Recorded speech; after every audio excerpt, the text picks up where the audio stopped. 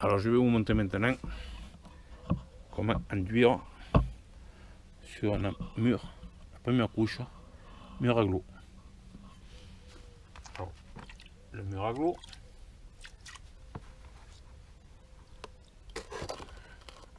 de l'eau, la brosse,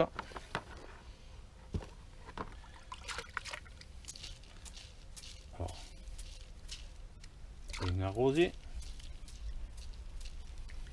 la brosse ou un jet si vous avez une grande surface. Alors la glue, on l'arrose moins que la brique. Ça boit moins. Mais il faut que vraiment soit arrosé. Ait de l'eau. Si c'est une grande surface, on arrose la veille et on arrose le jour même. Et pour des températures élevées ou Mistral, il y a d'autres façons à respecter. Là, bien arrosé. Le mur est bien trempé. Le mortier est toujours là. Ma truelle. le mortier. Le mortier. Pareil. Et comment ça se présente?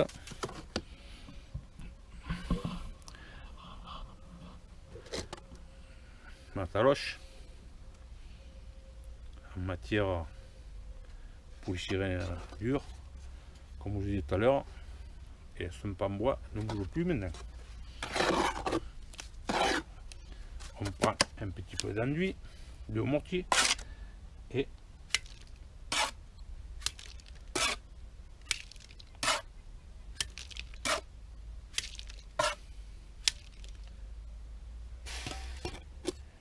vous voyez le bras arrive au mur c'est le poignet qui fait ce geste là le poignet.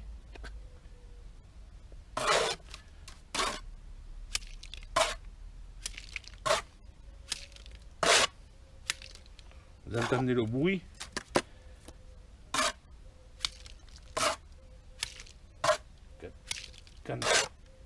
Le mortier s'éclate contre le mur.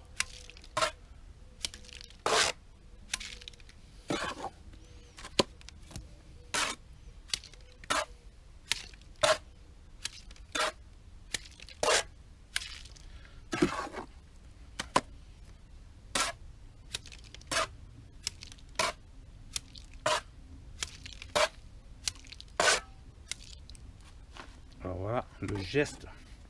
On arrive contre le mur, c'est le poignet.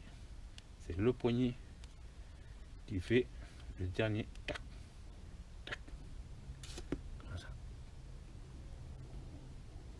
Voilà le geste.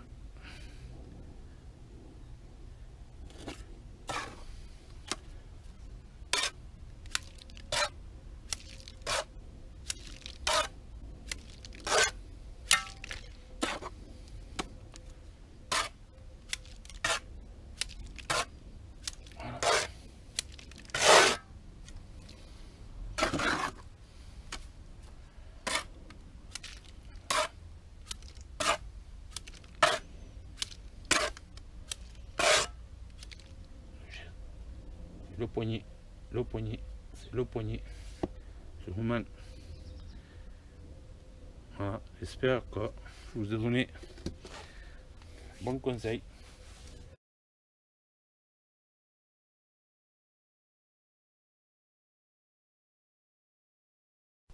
Alors maintenant, je vais vous montrer comment envoyer le mortier contre le mur. Là, j'ai fait un mur en briques. Bon, c'est des briques de 5, ça. Alors, ça, c'est. Je vous ai pas parlé de ces briques-là. C'est des briques pour la cloison. Vous voyez, elles sont alvéolées. Si ça vous intéresse, je peux vous faire une petite vidéo pour vous expliquer à quoi ça sert, à quoi, pourquoi faire, comment ça se monte. C'est pour des cloisons, des contre-cloisons en traditionnel. Ça se monte avec un joint ciment ou chaud ou plâtre bricoteur. Enfin, on n'en est pas là. Maintenant, on va voir l'enduit, la façon de l'envoyer. Alors là, vous voyez que la brique est sèche. Alors, très important d'enduire de l'eau. La brosse que je vous ai montré tout à l'heure.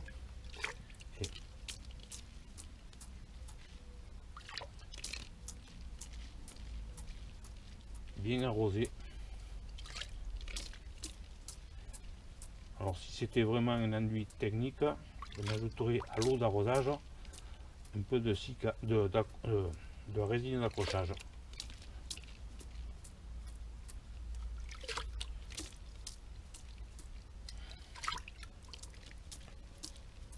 Alors les briques, c'est spécial un peu, hein, parce que ça boit énormément. Là-bas on a la glo, je vous montre après sur la glo, car c'est un peu différent brique, il faut pas hésiter à bien arroser. Alors, si vous avez des façades et qu'il fait chaud, il vaut mieux arroser à ne plus boire la veille et re-arroser le jour de la nuit.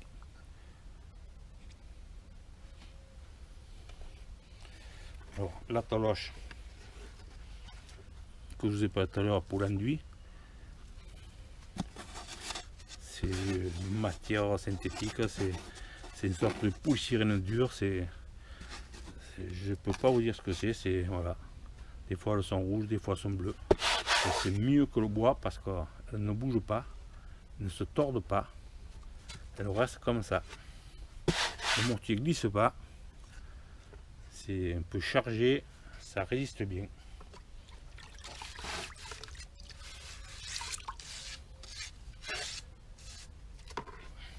un peu le, le, je passer les sèches.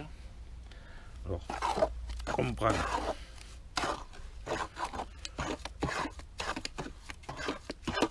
on prend du mortier. Je sais pas si vous le voyez.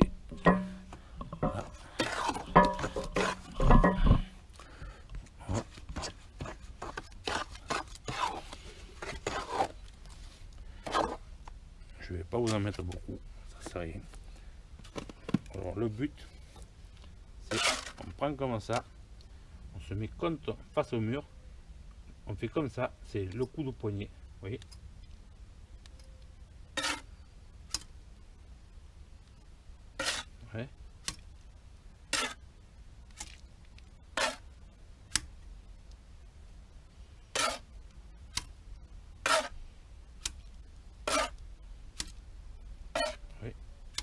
On arrive face au mur, on fait comme ça,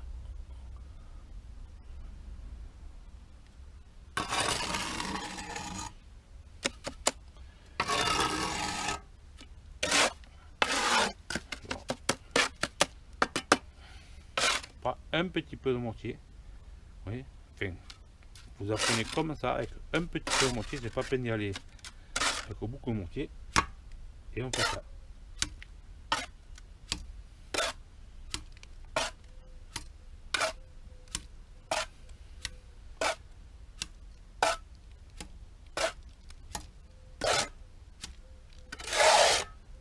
Là, il est déjà trop sec le mortier.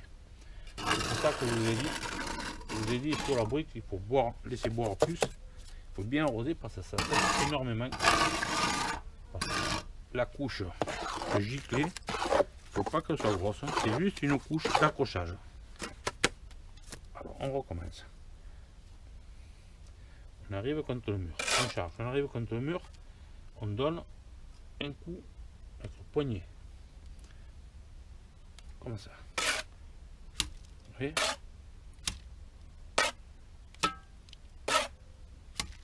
Le poignet. Le bras ne fait rien. C'est le poignet qui fait ce geste. Alors, je vais voir si on voit bien le geste de la poignée. Oui, c'est. Voilà le geste. Le, bras ne bouge pas, c'est le poignet. Qui, au dernier moment, arrive contre le mur, fait ce mouvement-là. Vous entraînez avec un petit peu de mortier, vous allez voir que vous allez le prendre très vite. Là.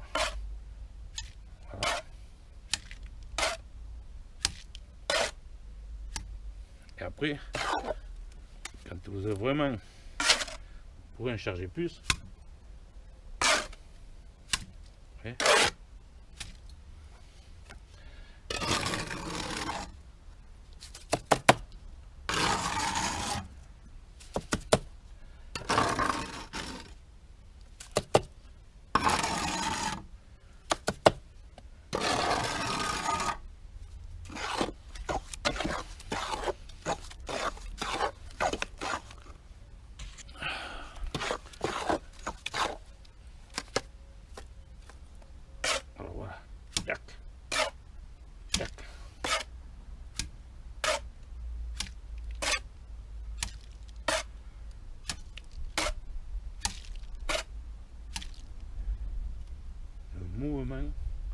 c'est le poignet. C'est le poignet. C'est le poignet qui fait ça. Il peut faire ça, ça, fait ça.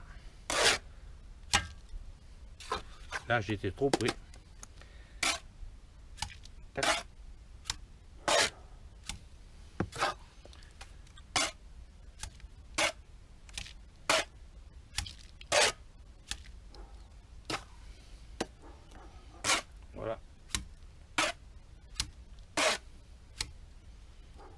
Mouvement du poignet, le bras arrive contre le mur. Et quand il est à peu près 20 cm du mur, il recule au poignet, tac, tac, et en remontant, en remontant, on, jette le mortier. Automatiquement, le mortier est injecté de la truelle. Vous voyez? Parce que le poignet a fait un mouvement le, coup de poignet, ça fait que le mortier injecté est obligé de partir de la toile. Voilà, j'espère que, que, ça va rendre service. Je vais vous montrer maintenant sur la glue